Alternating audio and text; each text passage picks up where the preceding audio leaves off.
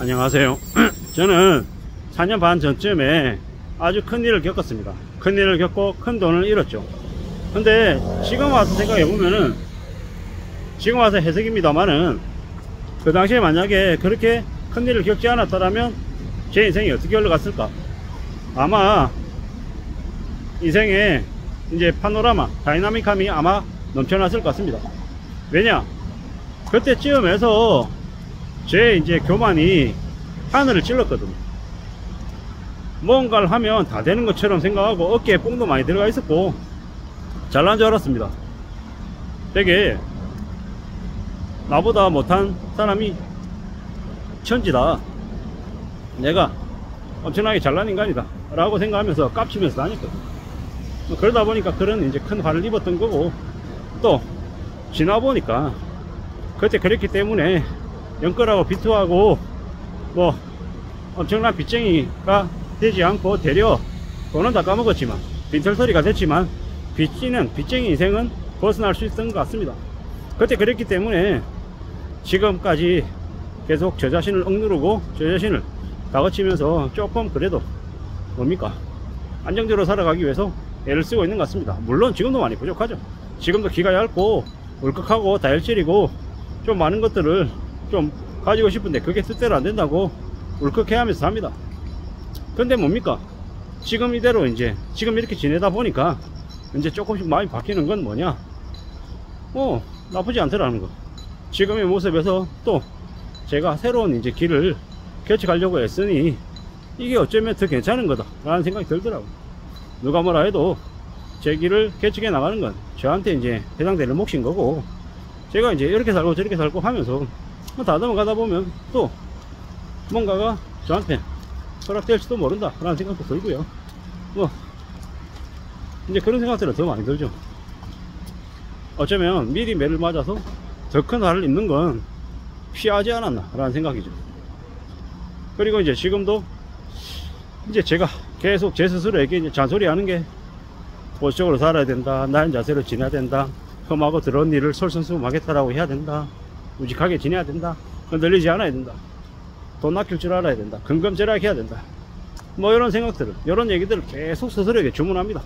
그러면서 마음먹기도 하고 애쓰기도 하고 계속 그러고 살고 있죠. 착실하게 살아야 돼너 성실해야 돼. 욕심 부리면 안돼. 탐욕 부리면 안돼. 잘못했다가 인생이 다 뒤흔들릴 수 있으니까 정말 정말 신중하고 정말 나은 자세로 조심하면서 지내야 돼. 이런 얘기들을 계속합니다. 뭐 그게 필요한 거고 어떻게 살지? 어떤 마음으로 지낼지? 각오도 계속 필요하고. 그런 얘기들 계속 하면서 지금 생각해 보는 건데 참 다행이다. 참 고마운 일이다 라는 거죠. 안 좋은 일을 겪었지만 위기나 역경을 겪었지만 그게 저라고 하는 사람에게 더 큰 화를 피하기 위한 액땜이었다는 생각이 요즘 와서 듭니다. 그리고 그런 생각도 하죠. 이제 어느 정도 한 4년 반 됐으니까 앞으로 한 6개월 안에는 그런 것들이 좀 마무리가 되고 앞으로는 좀 다시 또 상황이 또 국면이 또 바뀌어서 좀 괜찮았으면 좋겠다. 지금보다는 그래도 내년이 그 다음 내후년이 그 다음 연도가 좀 괜찮아지면 좋겠다 라는 생각을 하면서 지내고 있습니다.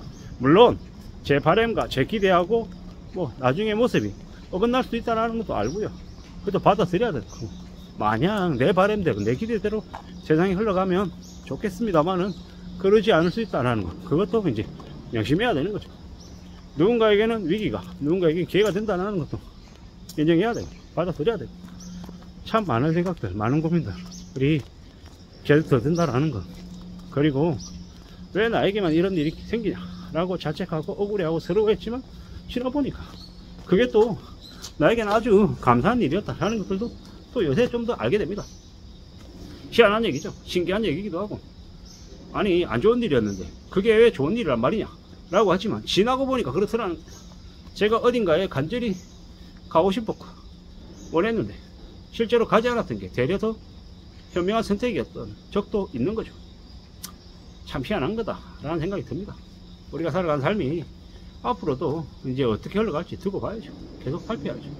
지내야죠. 이런 생각 저런 생각이 많이 드는 게 요즘입니다.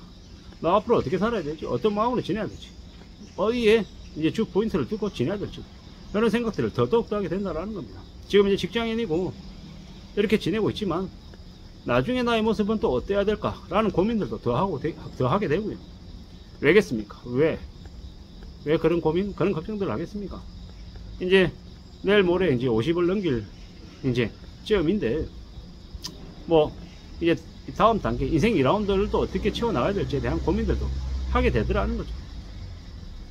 지나온 시간들 생각해 보면 이런 생각 저런 생각 여러 가지 생각들이 많이 이제 스쳐 지나가죠. 왜 나에게만 나에게는 왜 기회가 없을까? 나는 왜 이 모양일까? 나만 왜 이렇게 불행할까? 이런 생각들도 많이 했고요. 근데 지금 한 생각해 보면 그런 것들이 어쩌면 불행이고 억울함이 아니라 나에게 좀 더 큰 이제 길을 만들어 가라고 하는 세상이 나에게 주는 메시지일 수도 있겠다라는 뭐 착각, 망상 이런 것들도 빠져 삽니다. 뭐 제가 크게 돈을 들여서 큰 사업을 하고 뭐 일을 벌리고 이런 거는 못할 것 같습니다. 대신에 옆에서 이제 조언해주고 충고해주고 제가 했던 일, 지금 하고 있는 일을 기반으로 한 이야기들은 얼마든지 할 수 있을 것 같다라는 거. 그걸 통해 가지고 또 뭔가를 다듬어 나가볼 생각입니다. 앞으로 차근차근 삶을 다듬어 나가야죠. 그렇게 지내고 싶은 마음이 더 큽니다. 누가 뭐라 해도 뭐 그런 각오로 지내야겠죠. 살아간다라는 게 참 힘들고 막막하고 답답하고 길이 안 보일 때가 많습니다. 뭐 그래도 하루 지나고 또 반나절 지나고 일주일 지나면 또 조금씩 또 괜찮아집니다. 길은 찾아야죠. 반대 찾아야 됩니다. 지금 힘들고 어렵고 좀 눈치가 보이고 좀 걱정이 많이 된다. 시간이 지나면 나아질 일만 있다. 라고 생각해도 괜찮겠습니다. 너무 자신을 압박하거나 궁지로 몰지 말자는 겁니다. 저처럼 있잖아요. 힘들고 어려운 일을 겪었는데 그 힘들고 어려운 일이 나중에 전화 위복이 돼서 복으로 바뀌는 경우도 있더라는 것. 그것도 한 번쯤은 생각해 보면 좋을 것 같습니다.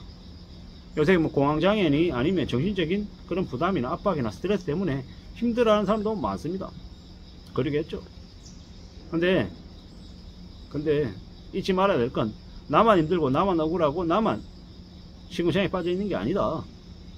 나 아닌 다른 사람들도 많이 힘들고 많이 어렵고 나보다 훨씬 더 어려운 처지에 놓여 있는 사람들이 분명히 있다라는 거예요. 물론 그렇게 비교해서 자기 위한 삼을 하는 얘기는 아닌 거고 너무 스스로를 자학하거나 자책하지 말자는 의미에서 드리는 말씀입니다. 저도 사는데요. 저 같은 이도 사니까 이 영상을 듣는 다른 분들 충분히 더 살아내고 또 앞으로 나아가도 괜찮다라는 말씀을 좀 드리고 싶었던 겁니다.